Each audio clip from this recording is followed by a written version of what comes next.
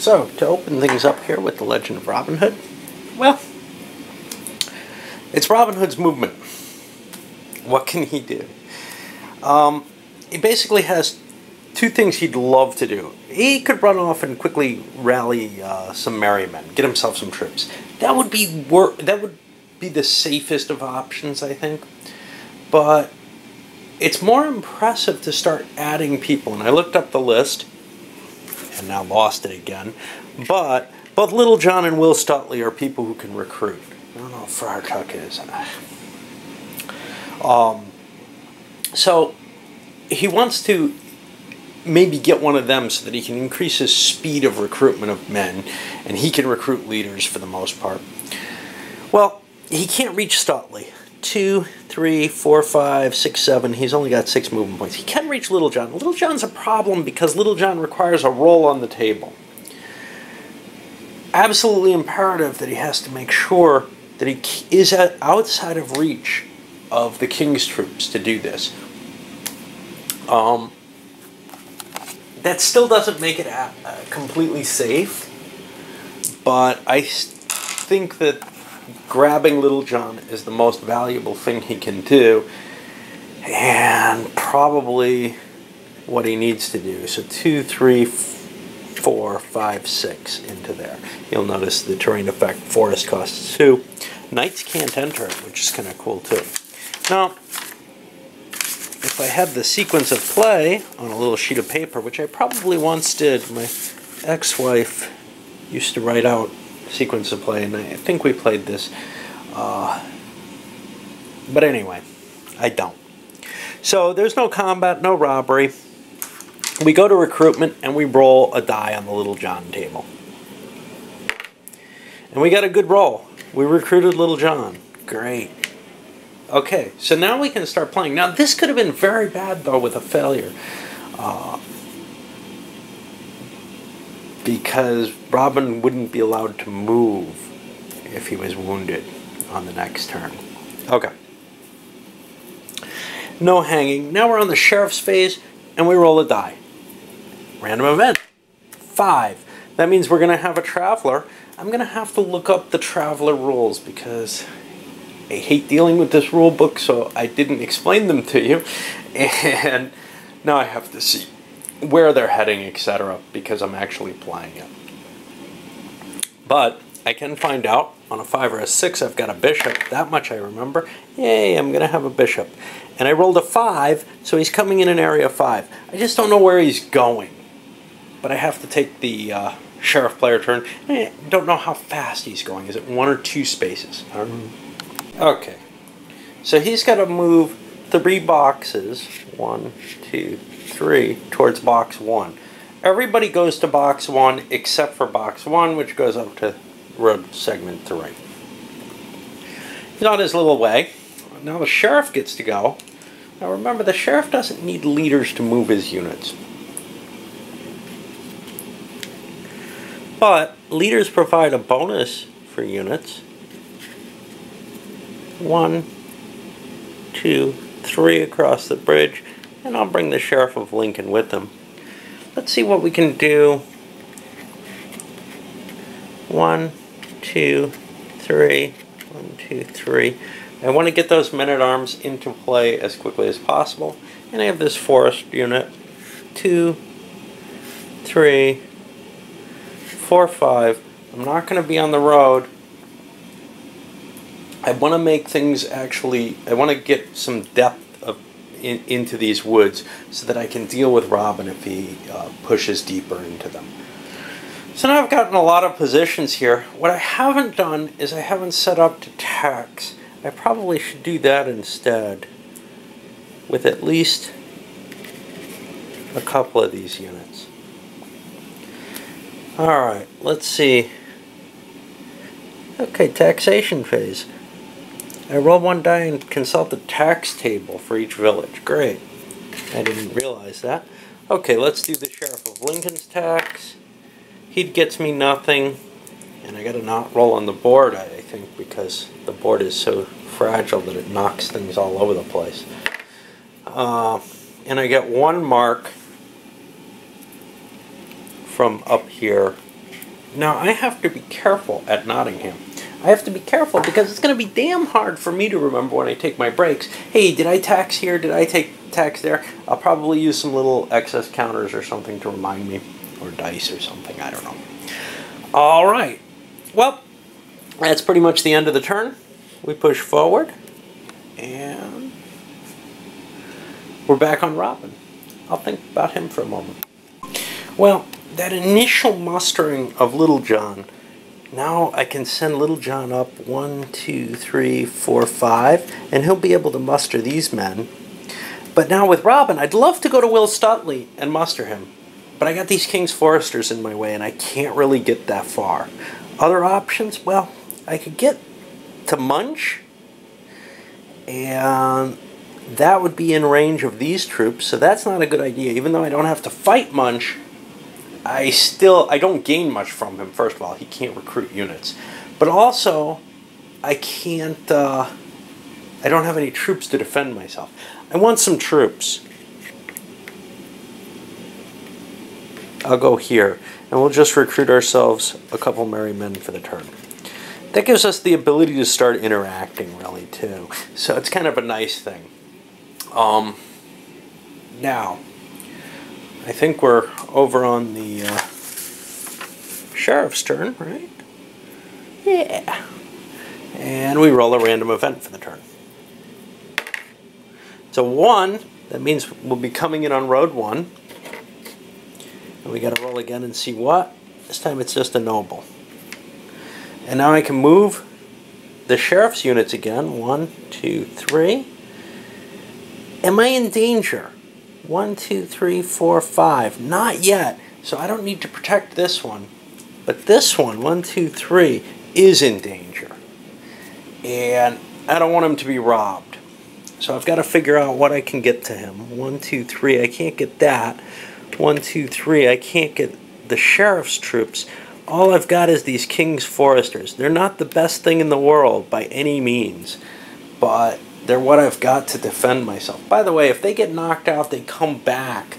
Um, oh no, not King's Foresters. Uh, only Men at Arms will come back. Some I think four turns later or something as reinforcements.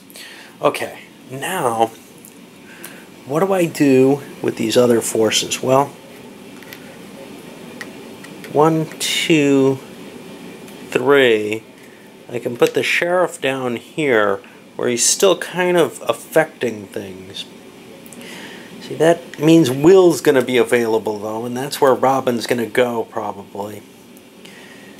One, two, three. Get some more forces on the road there. This is just a, a it's a tough situation always uh, for and I can't get the sheriff of Lincoln down there in time. Conceivably, I could just abandon that noble and let him be killed or, or robbed. But I don't know. I don't like to do that for some reason. Okay, no taxation this turn because I'm just not in place for it. And I remove these. Now, one thing I'm doing, you know, I don't want to move. Uh, he came from here, I think. One, one, two, three. Yeah, he came from here. One, two, three. We're going to move him down further. The reason being, I want the sheriff in a position uh, to recruit Guy.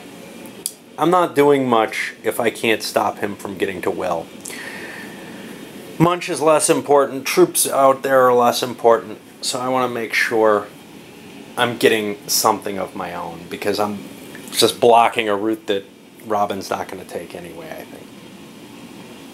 All right, I think that's the end of turn two. All right, so here we go. Um, Robin is going to march right in to deal with Will Stutely. He really wants to get him and another uh, mustering force on the board as quickly as possible, and that'll help with that. Now, the question is, does Little John want to attack this? And I've decided to go for it. Among other things, you get to see the combat this way. If we look at the sequence of play, that is the next thing in line. So, Little John has a 2 on his missile attack, whereas the King's Foresters have a 1. Let's roll for Robin first. You know, I could be using two different colored dice. I'll think about that later. Um, Robin's group, they missed. They needed a high number to hit. And the King's, and I checked on the road to make sure there is no terrain effect for it. Uh, we don't get a hit either way. So now we go to the melee phase. And for melee, they're equivalent. They're both ones. So I'm attacking at a one to one. But oh, they don't mention it here, which means there may be other stuff hidden places. Leaders add a bonus in combat. Effective leaders in combat. Uh, add one to archery die roll if Robin Hood's in the hex. Yeah, I forgot to mention that. Um, but otherwise, it's one on the melee either way. So there's going to be a plus one or something. Yeah, plus one to the die roll for the Robin Hood leader. He gets a four, that's an exchange. Each side loses a unit. Now these are going to be coming back at some point. I have to check when. I don't think that Little John can rob uh, the noble there.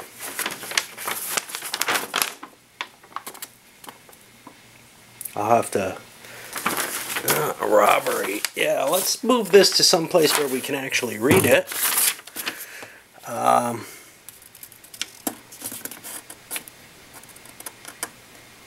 Yeah, it requires a, a merry man in order to do it.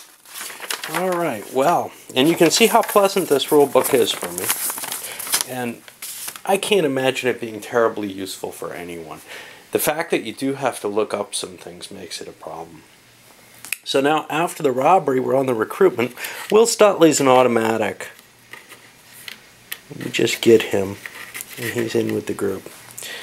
Uh, and he can go recruit uh, merry men somewhere and start doing stuff. Uh, but now we go over to the good sheriff phase. We got to roll a random event for him. We got a 3, which means road number 3 is going to be active. That will go to 1, as most of them do. And it ends up being another noble. Now, take a drink. We uh, we're in this interesting position where we can deal with Little John. Um, so let me move. These guys have to move. One, two, three. Little John can't stop this. But here the thing is, I'd like to capture him. That sounds like a pretty good idea. I can't quite reach with troops with this, and I can't reach with this. He's going to get away. He was in a good location. Well, that's a shame. Um, what I'd like to do is maybe tax, if I can. So I can move that there to tax.